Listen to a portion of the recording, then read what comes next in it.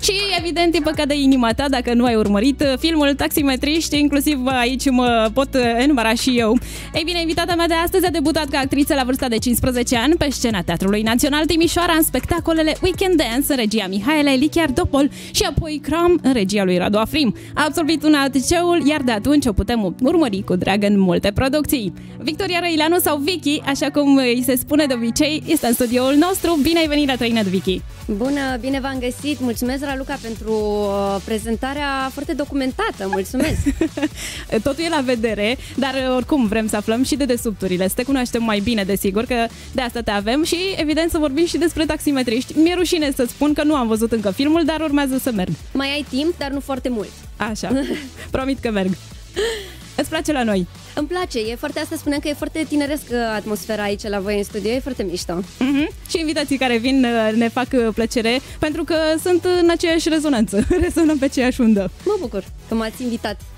Ei bine, și am zis că ai făcut atâtea lucruri. Uh, practic, perioada adolescenței și mai ales cea ale liceului a fost perioada ta cea mai bună. Putem uh-huh. să spunem că atunci a început, nu știu, bucuria asta de a intra în lumea actoriei, a filmului. Da, chiar a fost o perioadă bună pentru că Uh, am descoperit dragostea asta pentru actorie. Eu înainte am făcut balet uh, șapte, opt ani, cam atât.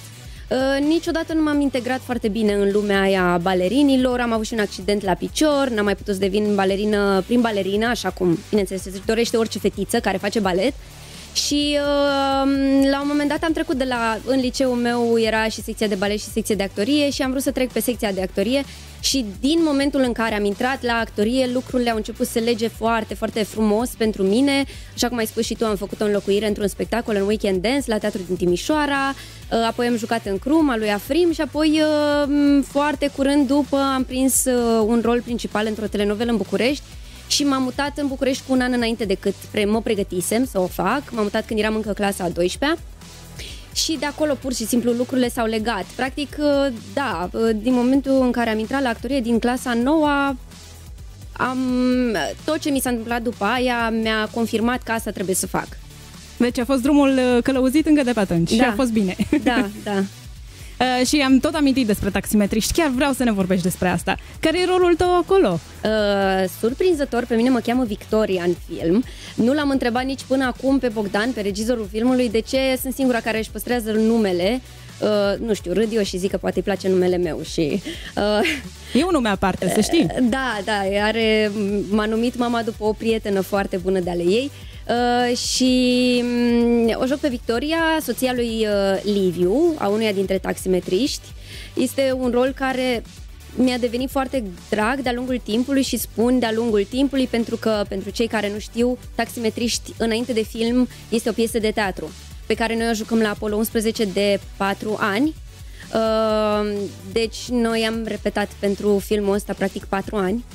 Uh, și asta a contat foarte mult pentru că unele personaje din film sunt foarte distincte, sunt foarte bine conturate și au ieșit așa tocmai din cauza acest, datorită acestor uh, repetiții, acestor multor spectacole pe care le-am jucat deja la Apollo.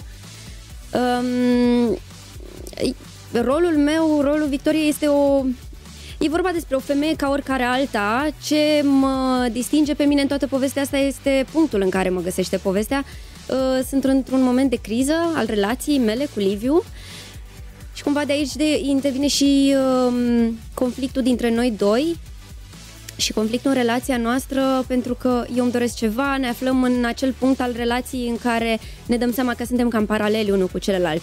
Eu îmi doresc să fiu mai prezent în viața mea, îmi doresc să um, mi-e, mi-e teamă cum vorbesc ca să nu dau spoiler nici ție, da, da, da, nu da. l-ai văzut nici oamenilor care nu l-au văzut încă de acasă, care ne ascultă acum.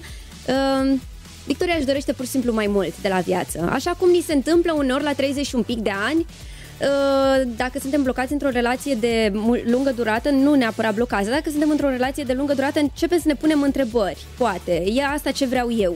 Uh, mă satisface relația asta din toate punctele de vedere. Mă ajută relația asta să cresc. Și Victoria e acolo. Uh, și um, nu prea se intersectează cu Liviu în toate întrebările ei. Uh, și atunci, uh, iată și momentul de criză. Mm-hmm. Atât o să spun. Așa, nu ne dăm mai multe detalii, vrem să urmărim. Așa că la cinema cu noi. Da. Uh, și dacă tot suntem în zona asta a filmului, a serialelor chiar, uh, dacă ar fi să faci un top așa al filmelor tale preferate sau chiar seriale, că am tot amintit, uh, cam care ar fi cele mai uh, iubite de către tine? O să le amestec Da. și nu pot să fac top 3. Uh, Ah, am mai oricâte. multe. Uh, dintre seriale, mie mi-a plăcut foarte tare The Handmaid's Tale.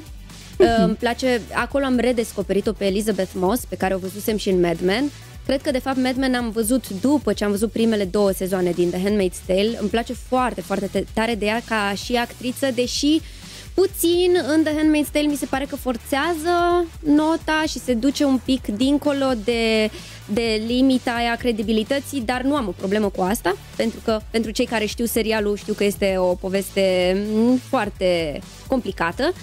Um, este unul din serialele mele preferate, mi-a plăcut, sunt și unul dintre mulți fani uh, Game of Thrones, mă număr printre ei uh, cu toată inima, uh, iar dintre filme mi-a plăcut Drânc de anul trecut sau acum un an și ceva cu Mads Mikkelsen, îmi place de el foarte tare ca și actor. Uh, mi-a plăcut La Grande Beleța, cred că este unul din filmele mele preferate uh, de Paolo Sorrentino. Mi-a plăcut foarte tare felul în care se povestește viața în filmul ăla și mi se pare că uh, personajul principal, am uitat cum îl cheamă pe actor, aleargă după o ușurătate, după care cumva alerg și eu în viață și acolo m-a, m-a atins puțin. Uh, îmi plac filmele nordice, uite, de exemplu, mi-a plăcut uh, Force Major, uh, Snow Therapy, are două nume filmul ăsta și am înțeles că a ieșit acum și o variantă la americani uh, și acolo mi-a plăcut foarte tare. Îmi place, îmi place stilul nordicilor de a face filme pentru că sunt foarte curați, dar în același timp au un umor uh, surprinzător. uh, am râs foarte mult la filmul ăla. Uh, cam atât. Uh, from the top of my mind, acum cam astea sunt. Sunt titluri foarte importante și cam mari din ce văd eu.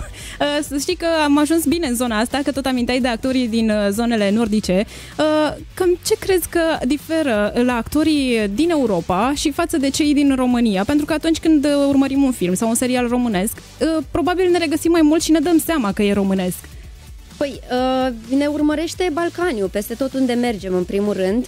Uh, și nu o spun într-un sens peiorativ, mie îmi place chestia asta foarte tare, îmi place că suntem gălăgioși și îmi place că suntem uh, um, uh, expansivi de foarte multe ori, că um, îmi place să văd scandal de multe ori, chiar dacă chestia asta se poate întoarce împotriva mea, dar suntem balcani și ne atrag lucrurile de genul ăsta. Uh, dar în același timp cred că avem și o profunzime care mm, nu se regăsește în orice naționalitate din Europa. Chiar am vorbit cu uh, niște oameni recent, uh, niște londonezi, niște englezi și spuneau că noi avem o profunzime și o căldură care nu se găsește foarte ușor, cel puțin în Europa. Uh, suntem așa, mi se pare că suntem un amestec uh, din niște extreme și mi se pare că um, unde se întâlnesc aceste extreme în noi se creează o, o bunătate și un centru foarte, foarte frumos. Mm-hmm. Îmi place răspunsul tău. Da, și, Și eu, cred mie. că, și eu cred că m-am dus în aceeași direcție, dacă am fost întrebată. Uh, și în plus, uh, știu că școlile din la noi sunt foarte bune, iar tu predai la Academia Studiourile Buftea, ești uh, și în rolul de profesor. Da. Uh, cam cât de greu e să lucrezi cu copiii? Uh, este... Uh, este greu, af- acum vorbesc dintr-un punct în care noi abia ce ne, pregă- ne pregătim la începutul lui februarie avem festivalul de teatru unde eu am trei spectacole, alți colegi de-ai mei cred că mai au și patru, cinci spectacole cred că n-are nimeni.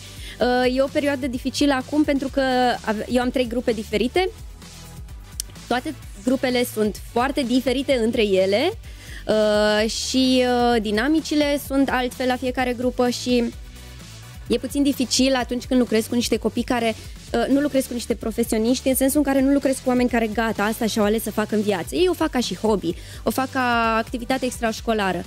Și atunci, uh, ei fiind și adolescenți, creierul lor funcționând în momentul, la vârsta asta, într-un alt fel, uh, trebuie într-una, într-una să te mulezi pe ei, într-una, într-una să îi uh, motivezi, dar atunci când reușești să faci asta și atunci când un grup se sudează și îi vezi că deja tu nu mai trebuie să spui mare lucru și asta chiar se întâmplă, că tu nu trebuie să mai uh, faci mare lucru, că nu trebuie să mai uh, stai cu gura pe ei, cum fac profesorii, haideți copii, haideți nu știu ce, când lucrurile astea nu se mai întâmplă și vezi că fac deja din propria iniți- inițiativă, eu acolo zic ok, uh, my job here is done, sunt foarte fericită dacă eu am reușit în copiii ăștia să uh, fac o mică schimbare și să fac să înțeleagă că ei împreună pot să facă un spectacol, un scurmetraj, facem și scurmetraje la Academie și să se bucure de experiența asta, asta e tot ce contează pentru mine.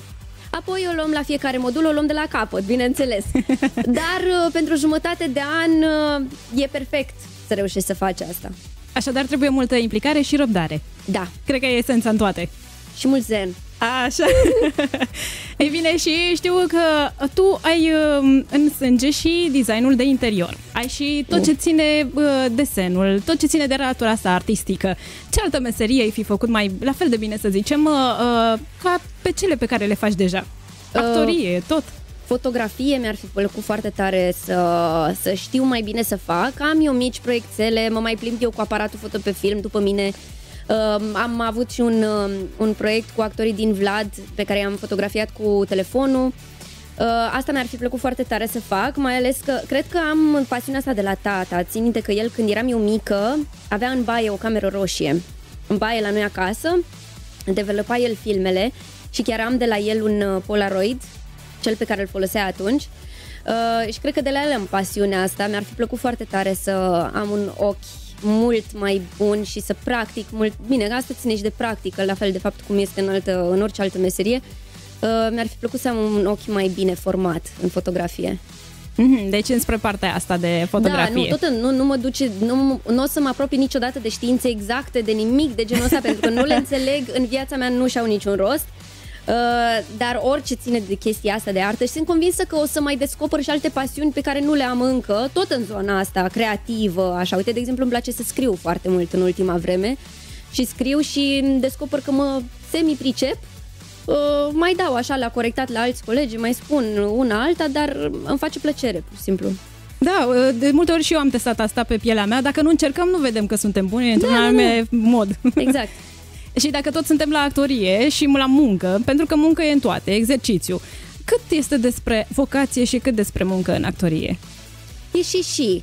Uh, dar dacă ai, vocație, dacă ai vocație, nu poți să faci nimic fără muncă. Uh, dacă ai muncă, poți să faci, cred că, și fără vocație. Dar mm-hmm. uh, ideal este să fie amândouă. Uh, mie îmi place, eu sunt o persoană care îi place foarte tare să muncească, eu nu pot să stau pe loc. Eu și dacă am o zi liberă, foarte rar o să mă vezi pe mine tolănită, nu știu, să dorm până la 10 sau să stau tolănită pe canapea. Să... Nu sunt structural compus așa. Uh, dar uh, actoria fără muncă este ca, e, tot cum spuneam și mai înainte, e vorba de exercițiu. Mă uit la mine, dacă nu joc o perioadă de câteva luni, mă ruginesc, nu mai joc bine. Am nevoie într-una să, să practic, să practic. Și atunci cred că de aia și acasă mă prostesc cu copilul, mă prostesc ca să practic într-una, într-una, într-una, știi? De asta am apucat și de improvizație, pentru că e un alt fel de practică care mă ajută în actorie. Știi? Așa e, așa e. Și cred că te ajută și Carol acasă, pentru că am văzut poze cu el și e atât de expresiv, este, sincer, este, carismatic este. rău. Da, mulțumesc, este. Da, într-adevăr. Dar altfel ruginim, cum ai zis da, tu, dacă da, nu da. facem... Uh... Nu știu dacă există, că nu e ca mersul pe bicicletă, știi cum se spune. Ai învățat să mergi pe bicicletă, știi toată viața. Nu știu dacă există vreo melodie, vreo, uh, auzi melodie, vreo meserie pe care odată ce ai învățat-o, gata, nu mai iese informația din cap. Cred că așa e cam peste tot. Da, da, cam așa e. Prin exerciție și prin multă muncă. Da. Și, uh, bineînțeles, sunt curioasă dacă din toate rolurile pe care le-ai avut, fie în teatru, fie în film, uh, ai avut un personaj pe care l-ai uh, asimilat atât de bine cu tine sau poate cu care ai împărțit anumite trăsături de personalitate. Victoria este din Taximetriști, este una dintre ele. Uh, însă unul din personajele care mi-a plăcut foarte tare și pe care l-am asimilat uh, foarte bine și spun că l-am asimilat foarte bine prin prisma reacțiilor din public, uh, era rolul pe care l-am jucat în cea mai călduroasă zi din an, un spectacol scris și regizat de Bogdan Teodor Olteanu, cel care a regizat Taximetrii și a și scris împreună cu Adi Nicolae. E vorba de prima piesă pe care el a scris-o, în care jucam eu și Alexandru Ion. Uh, ei, și rolul ăsta era foarte, mi-era opus mie. Eu nu, era o fată rea, nesimțită, se purta foarte urât cu bărbații, uh, se, uh, era foarte arogantă, era foarte superficială, uh, lucruri care mie îmi place să spun că îmi sunt opuse mie. Acum, o parte din ele se află și în mine ca să fiu onestă până la capăt, dar era foarte, foarte opusă mie și mă tot certam cu Bogdan, ziceam, nu înțeleg de ce se poartă fata asta așa cu băiatul ăsta. Uh, și ziceam, e prea mult, e prea urât cum se poartă. Și el îmi zicea, uh, cu, cu calmul lui foarte, uh, care îl definește, zicea, nu, Vicky, poți mai mult, poți mai mult. Și la un moment dat uh, am prins personajul, nu știu, a intrat personajul în mine, nu știu ce s-a întâmplat. Și am început să-mi permit să fiu foarte nesimțită cu colegul Alexandru Ion pe scenă și era atât de plăcut. Este atât de plăcut să joci un personaj care ți-e opus ție și să ai siguranța faptului că poți să faci asta până la capăt pe scenă, pentru că acolo se cade să faci asta și atunci îți permit să, să, să dai cât de mult poți în zona respectivă. Și mi-a plăcut enorm, mi-a plăcut foarte, foarte tare rolul ăla, mi-e și dor să-l mai jucăm uh, și reacțiile din public erau, doamne, dar cum, uh, nu, nu că încerc să mă laud acum, dar ziceau, cum să joci în felul ăsta un personaj care ți-e atât de opus ție. Veneau mai ales femei și colegi actrițe care ziceau, cum ai făcut asta, că tu nu ești deloc așa. Și, nu știu, am reușit cumva cu ajutorul lui Bogdan, cu mi-a ieșit. Mi-a plăcut mult, mult de tot rolul Da, ăla. asta mi se pare foarte interesant, că e ca o descărcare. Adică dacă în viața de zi cu zi nu poți să fii într-un anume fel, da. o poți face pe scenă păi, sau într-un rol. Abia așteptam să am spectacol, ca să mă mai așez. Mă așezam într-un anumit fel pe scaun, îmi puneam picior peste picior într-un anumit fel. Și abia așteptam momentul ăla ca să mai simt lucrul ăla pe care îl simțeam doar în spectacol. Foarte tare. Da, da. Și apropo de spectacole în teatru, când te vedem? Unde te vedem? Păi mă puteți vedea în spectacolul Taximetriști, pe care o să-l jucăm uh, cel mai probabil cândva în februarie, dacă nu martie sigur. Uh, mai avem spectacolul First Date de la Teatru Roșu. Este un spectacol din ăsta, o comedie ușoară de bar, pe care noi o jucăm de Mm, cred că 8 ani avem deja și o să mai jucăm, încă am zis cu colegii actori că e o situație pe care noi putem să o jucăm și la 70 de ani. E vorba de trei first date-uri totale șoate. Deci uh, oricine poate să meargă la orice vârstă la un first date, așa că și noi o să putem juca la lung. mult timp de acum înainte spectacolul ăsta, ne și place foarte tare. Și uh, pregătesc acum un spectacol uh, împreună cu un coleg, dar uh, nu vorbesc despre asta până nu se concretizează încă în niște lucruri. Te așteptăm data viitoare, da. atunci ne dai mai multe detalii. Vin, vin. Uh, și noi suntem în online. Sunt curioasă care e relația ta cu online-ul? Adică dacă îți place să-ți promovezi munca sau uh, dai și din uh, casă, din felul tău în care ești? Uh, și și. Uh, am început să postez mult în online odată cu uh, serialul Vlad, în, moment, în momentul în care serialul a luat amploare, pentru că eu și colegii mei din serial am realizat atunci cât de mult contează publicul nostru pentru noi, adică a fost o chestie extrem de conștientă pentru noi faptul că noi eram atât de cunoscuți și serialul mergea atât de bine datorită publicului nostru, datorită faptului că ei se uitau în fiecare luni, că ei uh, ne urmăreau în online foarte mult. Asta pentru noi a fost foarte important și atunci am început să, să postez mai mult. Uh, sunt genul de persoană privată în ceea ce privește dacă postez lucruri din viața personală. Sunt privată, dar în același timp uh, postez din viața privată doar atunci când consider eu, când mă simt eu uh, bine să o fac. Uh, așa fac și cu Carol, așa fac și cu orice alt aspect din viața personală. Nu o să fac niciodată asta pentru că chiar astăzi aveam o discuție mai devreme uh, despre oamenii care consideră că noi ne-am făcut actori și dacă prindem un proiect în care uh, datorită căruia devenim celebri, mulți oameni consideră că li se cuvine viața noastră privată.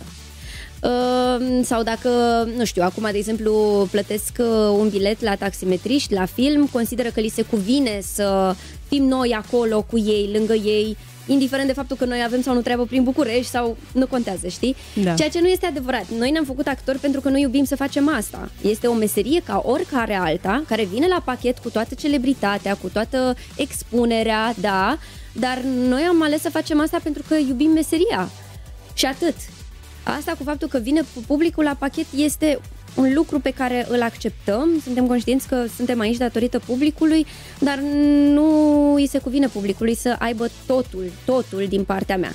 Și atunci eu pe uh, Instagram, de exemplu, postez uh, ca să-mi promovez proiectele, din când în când postez uh, din viața privată dacă îmi doresc chestia asta și sunt cât de deschis să consider eu că pot să fiu, uh, dar întotdeauna o să fac în termenii mei.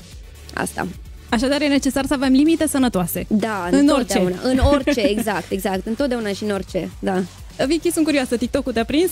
Nu. Nu. Nu, și chiar am luat-o ca pe un compliment. Am citit o recenzie de la film acum câteva zile în care ziceau că Victoria Raileanu și Maria Popistașu, pe care nu aveți cum să le știți de pe TikTok și ah, m-am îngâiat chestia asta pe suflet. Am încercat să mă uit, doar că și așa pentru mine Instagramul este mult.